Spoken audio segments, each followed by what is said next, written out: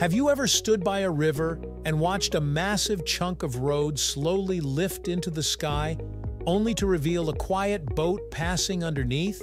There's something almost theatrical about it. Steel rising, traffic pausing, watercraft gliding through like they own the moment. That's the magic of a drawbridge. But behind that graceful motion lies a world of engineering that's far more complex than it appears. In today's video, we're diving deep figuratively into the mechanics behind drawbridges. How do they work? What types exist?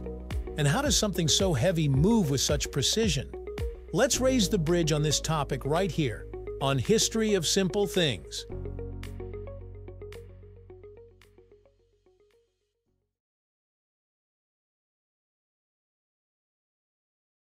A drawbridge, in its simplest form, is a bridge that can be moved to allow passage, typically for boats, beneath it. You'll mostly find them in places where roads and waterways intersect, especially in areas where building a tall stationary bridge just isn't practical. The concept of a movable bridge goes back centuries. Medieval castles had them, wooden platforms that could be lifted to keep invaders out. But modern drawbridges?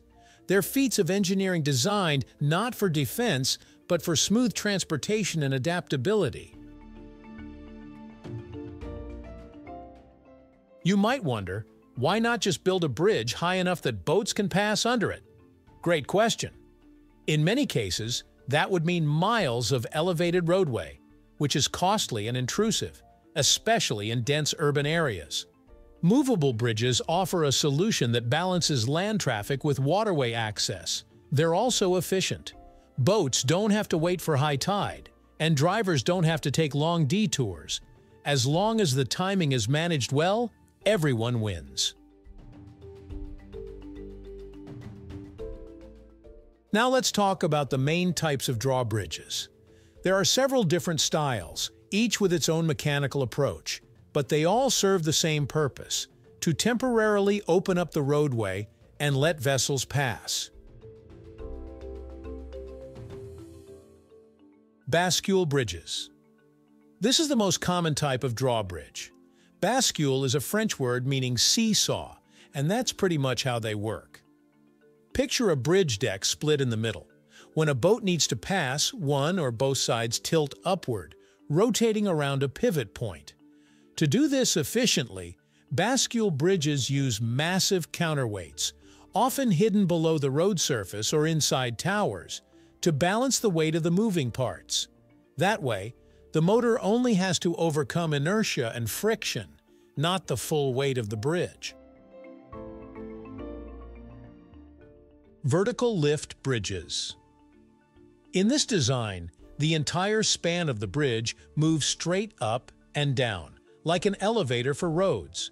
Instead of tilting, the deck stays level as it's raised by towers on either side, using cables, pulleys, and counterweights. These are especially useful for places where space is tight and there's no room to swing a large bridge segment upward. They're also capable of supporting heavier loads than bascule bridges. Swing bridges Imagine the bridge deck rotating horizontally, like a turntable. That's a swing bridge.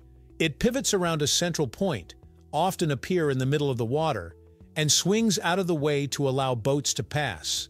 While swing bridges are simpler in design, they require a lot of room on either side of the pivot point. Plus, their central support can obstruct larger ships, which is why they're more common on narrower waterways. Let's zoom in on the mechanics, literally what's going on under the hood when a drawbridge moves.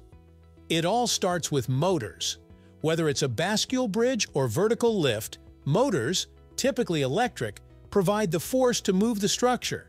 These motors are usually connected to gearboxes that control the speed and torque. For bascule bridges, the motor engages a gear system that turns the bridge leaf upward. Meanwhile, a counterweight swings in the opposite direction, perfectly balancing the motion. This is critical because it means the motor doesn't need to lift the entire bridge, just enough to get it moving. Vertical lift bridges operate with massive steel cables that run from the bridge deck to counterweights inside the towers. When the motor activates, it reels in or releases the cable, raising or lowering the bridge accordingly. Pulleys at the top of the towers help guide the cables and reduce mechanical stress. Swing bridges use large turning mechanisms, often hydraulic or electric, to rotate the bridge around its pivot.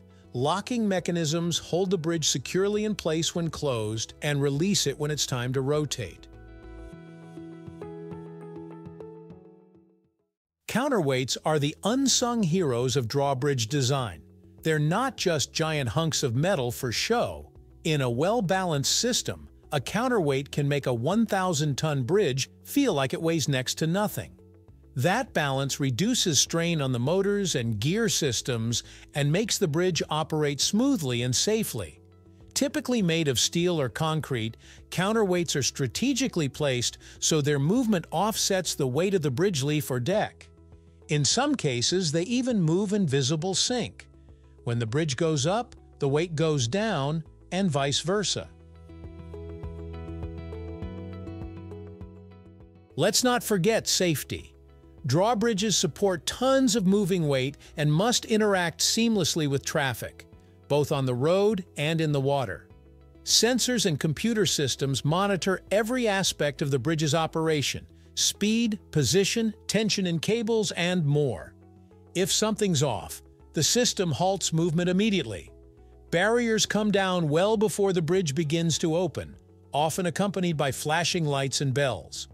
In many modern bridges, Operators have full visibility via cameras and control panels, so they can monitor both road and water traffic before initiating any movement.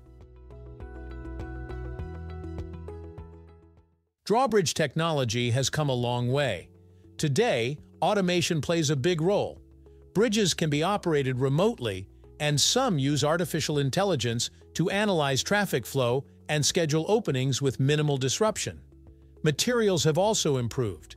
Lighter, stronger alloys reduce the need for giant motors, and sensors provide real-time feedback on wear and tear, allowing for predictive maintenance rather than emergency repairs.